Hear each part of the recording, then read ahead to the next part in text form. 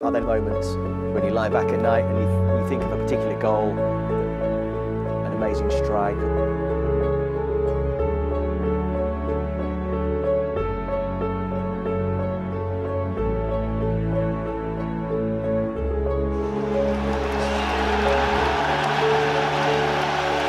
to be expected. Son.